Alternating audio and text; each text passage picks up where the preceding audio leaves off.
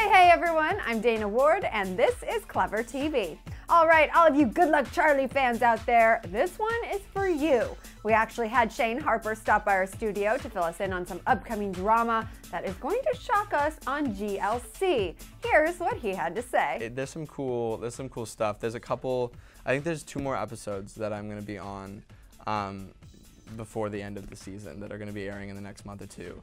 Um, and I can't tell you what happens, obviously, but it's it's it's really really huge. So everyone has to watch it. I'm really excited. It's it's a wild. Yeah, what do you mean? Give us like a hint. Well, there's just some stuff happens and some people. I can't. I can't. It's I I, I can't. there It's so people are gonna. involved? No, there's it not a mistake. It's purposeful? purposeful and it's magical and beautiful. There's there's some Magical, yeah beautiful, there's huge, purposeful. I'm liking all there's some there's some yeah there's some um yeah there's some interesting.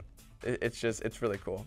It, it's it's awesome. I never thought that the writers would would make this happen Oh, ag- again, but it does. So, So, it's something so. you've wished would happen for your character. I thought it would be cool. I thought it. I thought it would. Yeah. Well, I thought it would be. I thought it would be really interesting if they had this certain situation come about. So, um, I thought it would be. I want to see what everyone would say, and it, it's a. It's a really cool, cool idea. So, Very yeah, cool. I'm, I'm excited. It's gonna be fun. So if you're a fan, you know where the show is right now in the storyline, so you must leave your best prediction as to what is going to go down with Shane, aka Spencer, this season. Post it below, and for more updates on all of your favorite TV shows, be sure to check out our page at facebook.com slash clevvertv.